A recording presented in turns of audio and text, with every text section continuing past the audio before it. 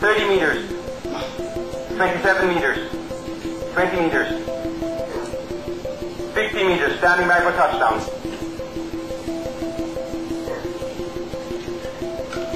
Touchdown signal detected. Landing sequence initiated. Helium vent detected.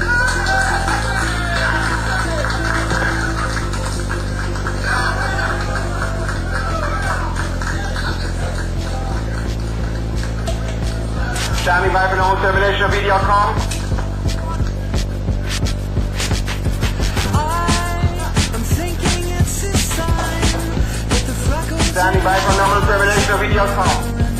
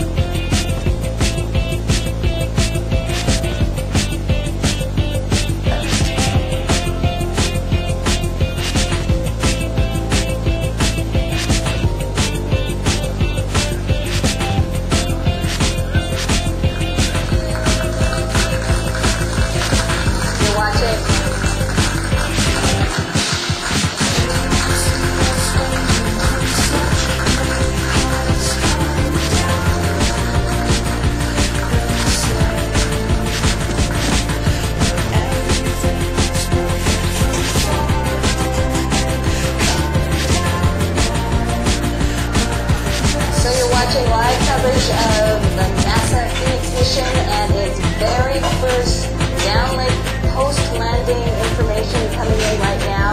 And we are looking at pictures of the solar arrays deployed from what I can see, Dan. Absolutely fantastic. It looks as if the solar arrays are completely deployed. Absolutely beautiful. We see the surface in the background. Uh, something that looks uh, small rocks, possibly agglomerations of soil. It's just beautiful. Crystal clear pictures. Now, we weren't sure that we would get a landscape image. No, and uh, it seems that just a couple minutes ago we saw a good horizon picture go by with the sky as well as the surface in the, in the view.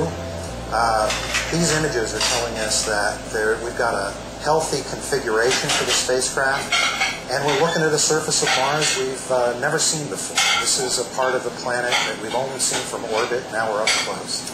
There's the horizon shot. Yeah, look at that. Uh, this confirms what we saw from orbit. We don't see a lot of rocks. We see uh, what looks like surface that might have been moderated, modulated, uh, configured in part because of ice action uh, beneath the surface. That's what it looked like from, from orbit.